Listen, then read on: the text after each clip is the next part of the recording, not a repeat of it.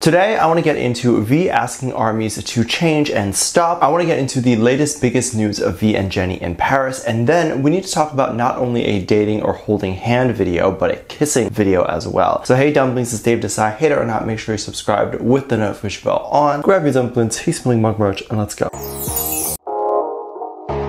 We have some crazy news today, and it's brought up a lot of speculation and a lot of people with a lot of questions. One thing that was being brought up was V's more recent live stream where he was reading the comments and talked about how all he was seeing was basically Yoongi marry me or more TMI questions. I don't know what exactly TMI questions are, but it seems as if the boys are bored of the Yoongi marry me questions at this point. But basically, if you do not know, armies have live streaming etiquette questions that the fandom heavily encourages others to follow during the stream, especially if you're going to write in Korean for the boys to actually read during the stream. The etiquette consists of not rude comments and only joining in on jokes, things like that. During this stream, V then asked armies to upgrade their questions and asked armies to stop their normal questions because their questions were very boring to him. However, I can see why they're boring because the mass majority of questions have been filtered out due to all these rules that the fandoms put in place about what you can and cannot ask. I would imagine questions like, are you actually dating Jennie or do you want to date at all are questions that are going to simply be banned from being asked. And if you do ask, you'll likely receive loads of hate from the fandom. So because of that, I think V ends up getting very impersonal questions and questions and jokes that are so generic that they're boring. Aside from maybe the marry me Yoongi jokes or even jokes where armies would purposely try to scare BTS by asking what's behind you, there's really not that many jokes you can do. And even then, once BTS said they didn't enjoy the ghost jokes, armies had to stop and it was never really done again. Basically, my point is that we end up not knowing Taehyung as much as we could because in moments where we would normally get to know him, the fandom has restricted themselves from getting to know him more. That is my controversial opinion, but I do wonder if anyone else thinks the exact same way about all this. But of course, I understand that you may not want to ask personal questions as a lot of the personal questions are about his personal lives and you don't want to be invasive. Even a little while ago when Jennie and V rumors were at its height, Hybe and YG both came out to say that they do not want to comment on the artist's personal life, and if they don't even want to do that, what place do we have as the fans to even ask? There's been a lot of drama going around online the last day or so, and if you are unaware of what is happening, let me give you some backstory on everything. Jennie's phone was recently hacked by a hacker who ended up leaking some pictures of V and Jennie being very close to each other. The photos did not exist elsewhere and were eventually asked by YG to stop spreading them, so I won't post them here. But a lot of people assumed they were photoshopped, just photoshopped extremely well. However, once those rumors died, most people, including myself, just assumed that the two were definitely not dating and it was just a lot of coincidences. And many other armies had the right idea to say that other armies need to mind their own business and stop looking into this too much. Because even if they are dating, it's simply none of our business. Recently, a photographer actually ended up tracking V and Jennie walking down a walkway in Paris. Both V and Jennie had activities there and they had things they needed to do. So when a photographer tracked them both and then claimed it was V and Jennie holding hands on a date, it was quite interesting. You cannot see their faces in the video and the video was shot very far away. It was at night, so perhaps the two thought that they could go on their date in a more private setting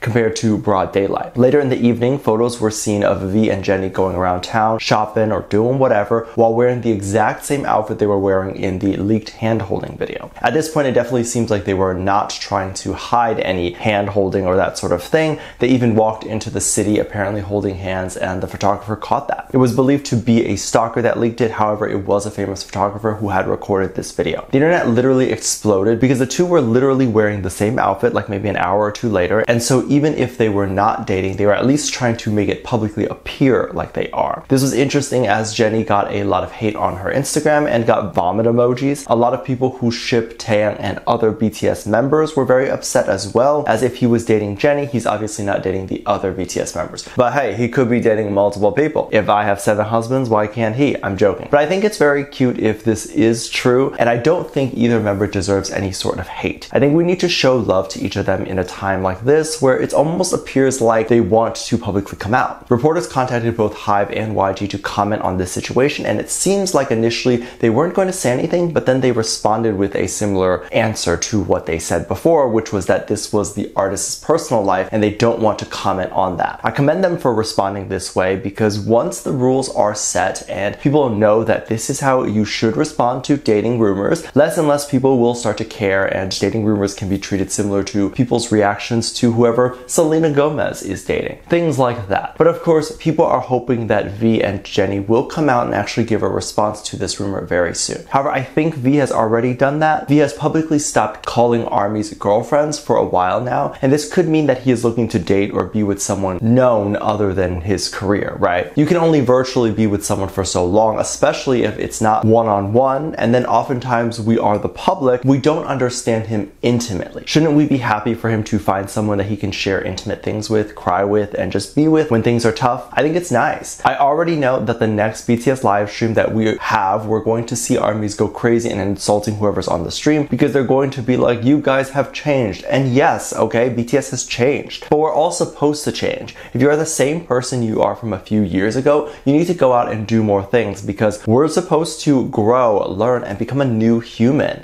There was even another clip that we have where people were saying it was V and Jennie kissing more publicly, and a lot of these clips we don't even see faces. But it appears like V and Jennie were staying at a hotel above a restaurant, or maybe it was just a hotel. But a very typical and cute Paris romance situation, and they were kissing right by the window. I don't know if V and Jennie would ever be so public about kissing by a window and how paparazzi would even find that. I also have no idea if this was in Paris, but of course, when one rumor comes out, people start digging and they piece together things that may or may not even be true. So since people already believe V and Jennie were holding hands, why not also believe this kissing clip? The clip did end up being looked into and people found out that this was a famous Chinese couple on Chinese social media. There's a Chinese social media site called Douyin and it's very similar to TikTok. It actually came out first and it's what the American TikTok was based off of. This was that couple that we see in the window kissing and was not actually Taehyung and Jennie at all. You can literally go onto their profile to find out that this particular video was staged and it was made to look like it was recorded by paparazzi or whatever because it's obviously cute. The couple was not trying to impersonate Jennie and V, but they were simply just being a couple and being themselves. The couple of course got hate for trying to copy V and Jennie, but that's literally not what they did and they probably may or may not even be aware of the V and Jennie dating rumor. And if they are, I highly doubt this beautiful Chinese couple would care that two idols were dating. There seems to be a lot of hate going around and a lot of people seem to be very upset at the new rumor and the new information that has come out and that many people are trying to take it out on as many people as they can. But can these people please stop putting themselves in positions where something like this would even